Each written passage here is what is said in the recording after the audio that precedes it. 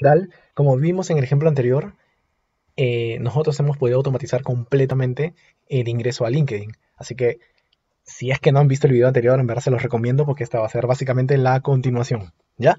Entonces, solamente para hacer un pequeño repaso, eh, teníamos un Excel donde teníamos las credenciales. mi usuario, mi contraseña, ingresaba, bueno, digité o parametricé el tema de la URL, detecté que hay cuatro elementos que voy a necesitar.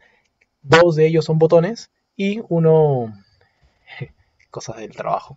Y dos de ellos son básicamente el tema de eh, selectores, ¿no?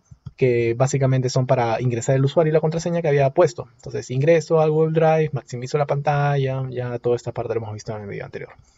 Ya, entonces ahora lo que voy a enseñarles es que a veces también el tema de selectores puede ser un poco complicado de que la página lo detecte. Entonces, cuando tengan problemas con los selectores, yo les recomiendo, porque eh, digamos que esto es una bazooka y esto de acá puede ser, digamos, una escopeta, ¿no? Puede ser muy bueno, pero igual la bazooka revienta todos. Entonces, eh, voy a comentar toda esta parte y lo que vamos a usar. Listo, con triple, triple comillas podemos comentar toda esa parte. Ah, bueno, esta sí la voy a necesitar, porque acá está también, no solamente el tema de mis credenciales, sino es que también está la lista de canciones que vamos a usar para ingresar a, YouTube, ¿ya? Entonces, eh, si se dan cuenta, yo he creado un Excel que tiene tres hojas, básicamente, ¿ya? Y en la segunda es donde tiene la lista de canciones. La primera la usamos para mis credenciales. Entonces, si nosotros dejamos el tema de pandas de esta manera, lo que va a hacer es va a mantener o va a leer los valores, pero de la hoja, que en este caso es la hoja activa. Entonces, si yo guardo mi Excel acá, la hoja activa va a ser la hoja 2. Entonces va a leer cosas en la hoja 2 y no va a haber nada. Entonces, básicamente yo lo que tengo que acá es decirle un parámetro, que en este caso es shift name, que en este caso se va a llamar, si no me equivoco, lista, lista canciones. Lista aquí no bajo canciones. ¿Ya? Entonces, ahora sí va a leer lo que yo necesito. Ya, entonces otra vez le vamos a pasar la URL, que en este caso es parecido a esto. Solamente que en este caso es youtube.com. Nada más. Listo. Entonces, ahora sí vamos a necesitar el tema de los XPath. Entonces, en una página de YouTube, ya acá estaba inspeccionando un poquito, lo que tenemos es de que primero tenemos que digitar el nombre, ¿no? En esta parte superior. Entonces en este caso ya estuve digitando maná. Pero, obviamente, yo lo que puedo hacer es inspeccionar la página. Y por ejemplo, en este caso es este de acá, ¿no? El input. Entonces yo en este caso voy a usar el copy full path. Con este ya no tienen piernas. O sea, este va a encontrar el punto exacto de toda la página que ustedes necesitan. ¿Ya? Entonces, en este caso, lo primero va a ser el path búsqueda. Voy a llamarlo de esta manera, ¿no? Entre comillas, yo les recomiendo eso. Comillas simples en este caso. Eh, el botón de búsqueda. ¿Cuál es la diferencia? Yo creo que se, van a poder dar cuenta muy fácilmente de que es este de acá, ¿no? Uy, lo perdí. Vamos a ver. Es este de acá. Entonces, copy full path. Ya está. Entonces, comillas simples. Ya está. Y ahora le voy a poner al path de la canción. ¿Ya qué me refiero con esto? Obviamente que si yo pongo, por ejemplo, como estaba poniendo hace un rato maná, lo que yo, voy a necesitar es, en este caso lo, que voy a hacer es la primera canción, ¿ya? Entonces, eh, voy a entrar y voy a poder darme cuenta de que, por ejemplo, a ver, vamos a, de paso que explicamos un poquito esa parte, si, vamos pasando el mouse van a, poder darse cuenta que están, vamos a empezar a seleccionar diferentes partes de la página, ¿ya? Entonces, por ejemplo, yo he seleccionado esta. Si yo entro acá, voy a poder darme cuenta de que hay un contenedor que tiene todos los elementos de, este caso un poquito más adentro para verlo. Bueno, sigo, puedo estar un poquito más abajo todavía.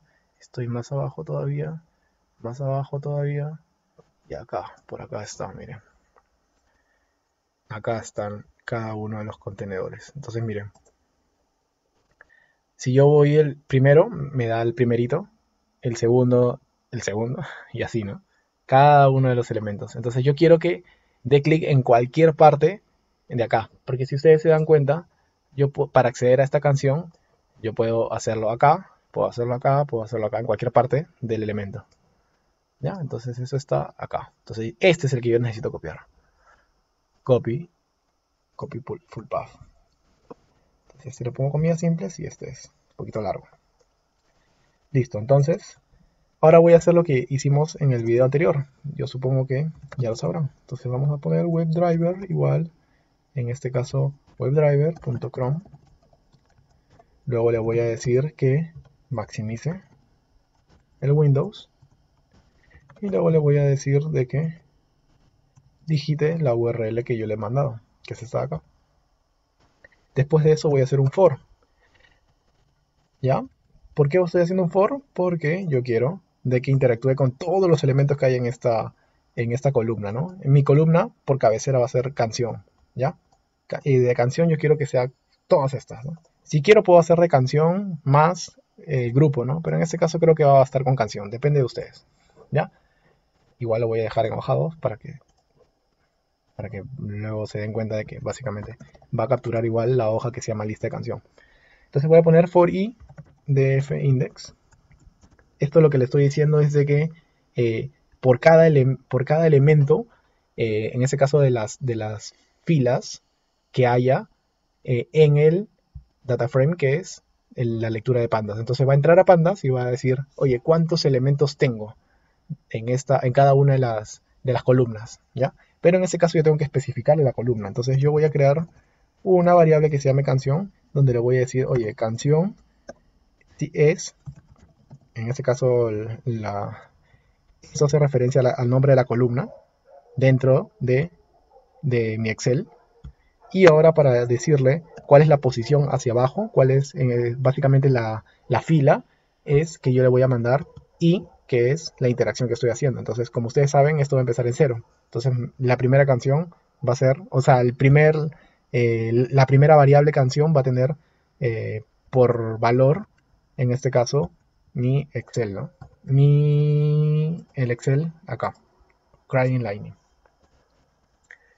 Listo, entonces entonces lo primero que voy a hacer va a ser tipear la canción, ¿no? Entonces yo necesito tipear la canción. Para eso voy a usar el famoso find element. Pero no voy a ponerle by selector, sino en este caso by x path. ¿Y cuál? El path de búsqueda. Y ahí le voy a decir, oye, mándale tal cosa. ¿Qué cosa? La canción.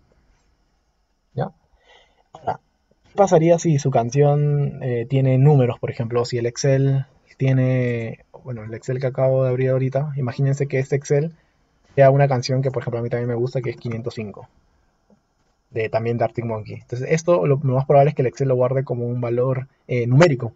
Y obviamente no podemos... Eh, o sea, sí, sí, podríamos mandarle esta parte, ¿no? Pero yo les recomendaría siempre trabajar con texto. ¿Ya? porque eh, digamos que es un poquito más fácil. Entonces, acá lo que podríamos hacer es setearlo, en este caso, todo como una variable de texto, ¿no? En este caso, un string. Simplemente para poder digitarlo de esa manera, ¿ya? En el caso que ustedes necesiten. Y después voy a hacer lo mismo, pero en este caso para botón búsqueda. Pero en este caso le voy a decir de qué, de clic. Ya. Y acá viene una parte muy, muy, muy, muy, muy importante, que es la espera. El tema particular que tiene YouTube es de que necesita que esperemos de que aparezcan los elementos. En este caso, los elementos, las canciones. Si nosotros usamos la versión anterior de LinkedIn en YouTube, se van a dar cuenta de que vamos a tener problemas porque no van a aparecer todavía las canciones. O sea, primero carga, eh, la estructura de la, página es diferente. ¿ya? Entonces van a cargar ciertos elementos y ciertos elementos van a llamar luego a, a los demás. Entonces, acá sí vamos a necesitar esperar.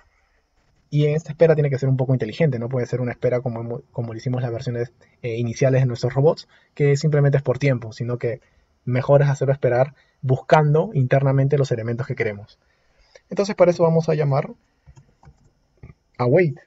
¿Ya? Entonces para eso vamos a usar WebDriver wait. Ah, disculpen. Ya, listo.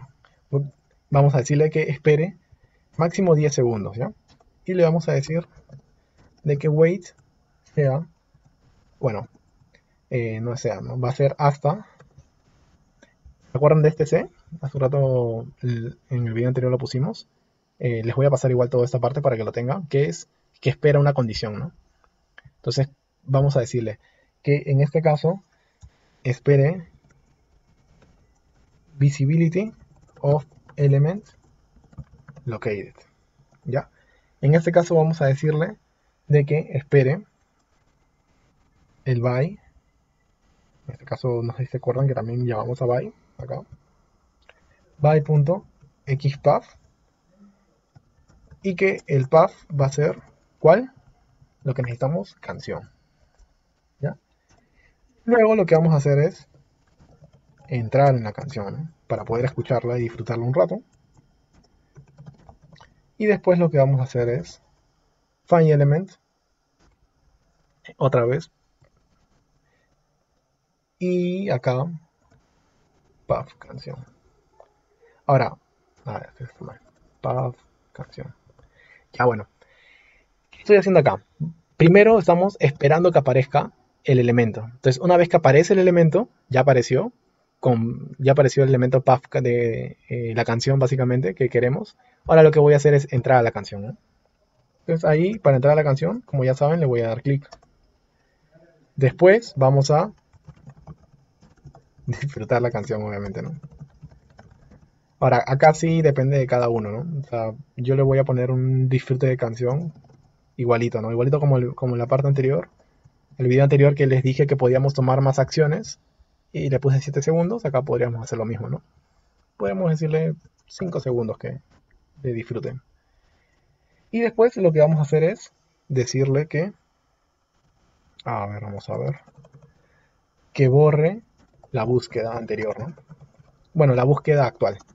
Porque este loop tiene que borrar y luego va a tipear el siguiente, el siguiente nombre de canción. Entonces, obviamente acá tiene que eh, borrar, ¿no? Y, para borrarlo vamos a usar otra vez WebDriver. Vamos a encontrar el elemento, by XPath en este caso. Vamos a encontrar el path de búsqueda. Y lo que le vamos a decir es que limpie esa parte. Entonces una vez que termine todo el for, lo que le vamos a decir es de que se vaya. Entonces ahora lo vamos a probar completo. Entonces ya saben, control B o si no en, Tools build. Con build van a poder, poder automatizar toda esa parte. Entonces ahí va a ocurrir. Va a abrir, va a maximizar, se entra a YouTube, va a digitar el primer nombre de canción, en este caso. Si se dan cuenta, está digitando, está dando ahí, está esperando que cargue el elemento, lo cargó y ahí va a entrar. Ahora acá no está entrando. Vamos a ver qué ha pasado. Puede ser que todavía reconozca que no o no acá me está diciendo que tiene un pequeño problemita. Me dice dos posibilidades. Ah, ya. Necesito mandarle uno más. Porque acá le, falta un argumento adicional. Ya. En este caso me, me, di cuenta que faltaba esta parte. Entonces vamos a probarlo de nuevo. Vamos a cerrar esto. Vamos a probarlo. Entonces, otra vez le damos control B. Ahora sí va a funcionar bien. Entra a YouTube. Lo que va a hacer ahora. Si se dan cuenta ya de por sí, esto está intentando localizar el elemento, ¿no? Entonces una vez que aparece, no está cargando toda la página. Eso, entonces ya entró. Desde ahí va a empezar a, correr el tiempo, ¿no? En este caso les invito a escuchar esta muy buena canción. Pero si no, va a pasar a la siguiente, ¿no? 5 segundos de disfrute y finalmente lo va a cerrar. Y eso es todo, amigos. En verdad, ha sido todo un gusto poder ayudaros en esta parte. Eh, en un siguiente video vamos a poder inspeccionar un poquito más, porque así como hemos podido eh, mandarle texto, le hemos podido, en este caso, limpiar el texto también eh, y dar clics, también podemos obtener cierta información. Entonces podemos, digamos, una vez que carga la página, sacar un dato importante, ¿no? Por ejemplo, podemos entrar a una página para sacar el tipo de cambio. O podemos entrar a una página para poder sacarnos algunos valores. Sin embargo, eh, hay mejores herramientas para poder hacer eso. Entonces, hasta acá lo voy a dejar y en el siguiente video vamos a ver cómo scrapear una página sin necesidad de abrir ni siquiera la pantalla.